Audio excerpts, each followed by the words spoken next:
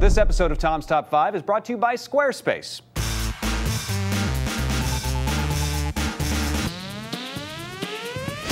Hey, welcome to Tom's Top 5, where each time we meet, we count down another hot list. I'm Tom Merritt. Sci fi on television has been suffering lately, so much so that the TV network Sci Fi is now called Sippy or something. So we thought it would be nice to focus on the rare achievements in sci fi television and celebrate them. Then we caught ourselves and said, eh, screw that. It's more fun to count down the top five worst sci fi shows on TV.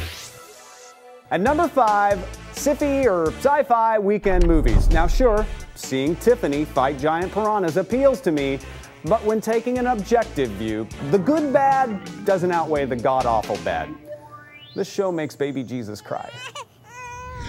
Coming in at number four, Warehouse 13. Now, I actually like the stories on this show a lot, but I was outvoted by the internet. I also really like the guy who played the Toy Master in Next Generation, although his character is a little pedo in this show. And in the Next Generation, come to think of it. Up to number three, The Prisoner reboot. Gandalf meets The Prisoner. I was so excited for this AMC miniseries, but instead of rebooting it, they kind of turned it into a pastiche of rambling introspection into the nature of unreality. Made about as much sense as that sentence. Sliding in at number two, Stargate Universe. I hold out hope for this series, but you folks on the internet are giving it a collective yawn, and the reintroduction of MacGyver doesn't seem to have done anything to wake you up. But watch the finale, it got better, I promise. Before we get to number one, time to give away some shit I have laying around my house. Answer my question on the forums at revision3.com slash tomstop5 and you may be randomly drawn to win a squishy yellow light bulb. Soon to be signed by Patrick Norton, I hope. Here's the question. What was Ian McKellen's first TV acting role? Hopefully the prisoner won't be his last. All right, let's get to our number one, the worst sci-fi show on TV right now.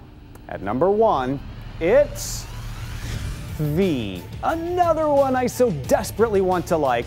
And sometimes, if you close your eyes, it is good. Uh, but then you realize it's a TV show, open your eyes, and see the apparent cardboard cutouts they used as CG effects, and the moment is ruined.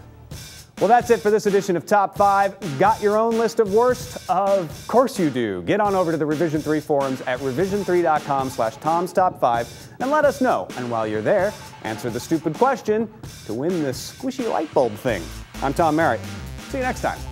This episode is brought to you by Squarespace.com. Squarespace is a publishing system for anybody looking to build a blog, portfolio, business website, or any kind of website. I've done a couple of my podcasts on it, and Squarespace offers a uniquely flexible tool for just about anybody. You don't have to know a bunch of coding, all that complex stuff. Although, if you are a little CSS expert, you can use that. It's adaptable to your skill level. Squarespace's newly launched site importer tool makes things really easy to move over, whether it's WordPress, Blogger, TypePad, Movable Type. It'll keep all of your URL structure exactly the same when you move it over. So why not give it a try? Go to squarespace.com, try it out, import your site. You'll get 14 days free when you use the code TOM5 at squarespace.com.